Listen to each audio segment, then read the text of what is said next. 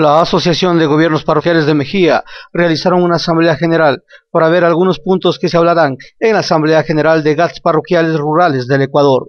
Sí, muy importante el, tema que nosotros como gobiernos parroquiales de Cantón Mejía eh, debemos estar organizados para nosotros poder eh, reclamar unidos y poder eh, dar logros que va en beneficio de, nuestra, de nuestras comunidades.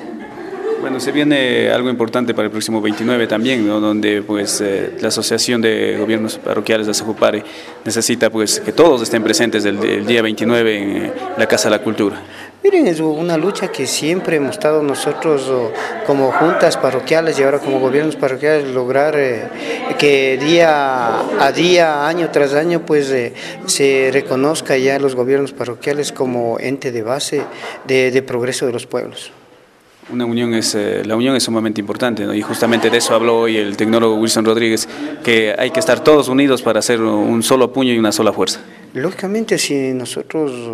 eso vemos desde un punto de vista ya socializado con todos los compañeros vocales en cada gobierno parroquial, de que si unidos podemos lograr muchas cosas y así vamos a, a lograr el día 29 los propósitos trazados por cada uno de los gobiernos parroquiales. Bueno, se pide también que lleven a, personas, que lleven a gente de cada una de las parroquias. Usted de su parroquia pues eh, también eh, pondrá a disposición un bus para que haga la invitación a la ciudadanía para que estén ahí. Y lógicamente nosotros como autoridades eh, que estamos trabajando junto al pueblo sabemos la necesidad y sabemos que necesitamos más presupuesto y estamos pues eh, en ese camino, en esa recta de que eh, tiene que estar involucrada la ciudadanía, saber la ciudadanía de qué tema se trata y la ciudadanía me va a acompañar el día 29 a esa gran marcha que tenemos, esa gran asamblea en Quito. Ha sido también importante la compañía de todos sus vocales, ¿no? También estuvieron presentes acá.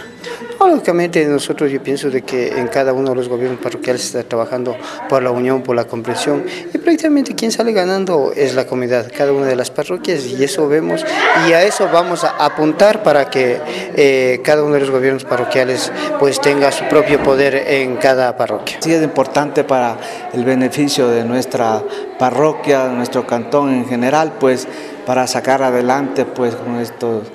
nuevas leyes que se vienen, pues unos como gobiernos parroquiales pues planteamos las mejoras para nuestros ciudadanos. Claro que este tipo de reuniones hace que pues eh, también se afiance y se unan más todo lo que son eh, vocales, presidentes de las juntas parroquiales. Claro que sí, esto mientras más unión haya, comprensión, pues es quien sale ganando pues la pueblos, no nosotros, porque si no hay una organización, no hay una unión, no se puede trabajar coordinadamente.